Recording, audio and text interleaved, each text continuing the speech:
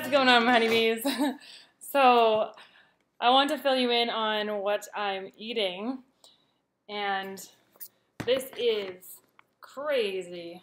Well, it's not really crazy. This is actually just a usual of mine that I've been doing lately is eating all these grapes. So I put these grapes, wash them in this big bowl, and then I'm less likely to grab something else. And this is what I do for detoxification. So alkalizing, hydrating, full of antioxidants, and super powerful, lots of live enzymes, lots of energy, electromagnetic energy in these grapes. And they're just so delicious. It is a hot one today. And so that's where there's a lovely hydration comes in. Even the water, I find, just doesn't do it. If I eat a lot of fruit, then I don't even drink as much water.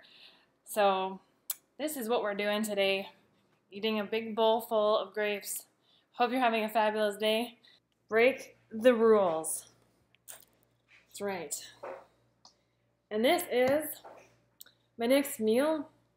We are going to eat a bunch of these strawberries. Mmm. They're so good. This is health right here.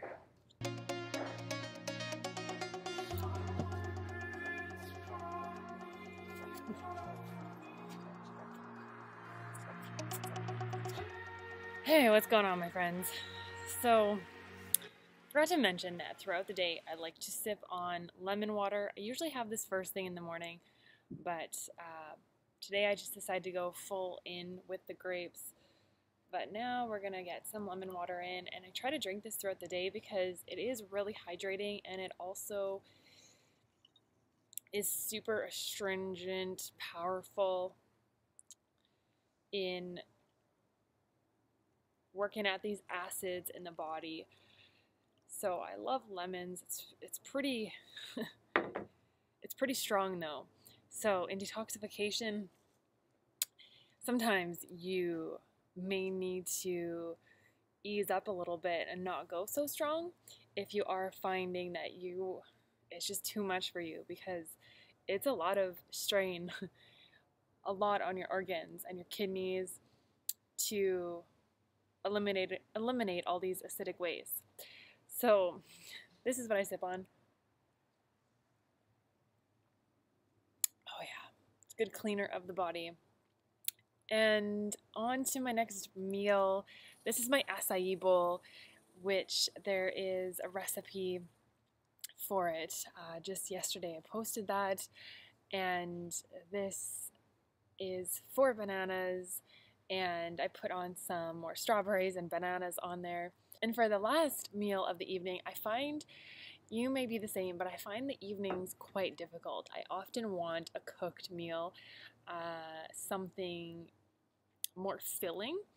So I am finding that the salads are working well for me with the avocados. The avocados are really filling me up. If that doesn't fill me up, then sometimes I do the steamed sweet potatoes or veggies.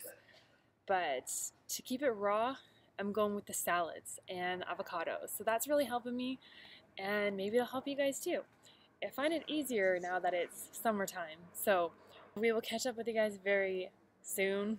Have a beautiful day, my little bees. We're going to be alkaline.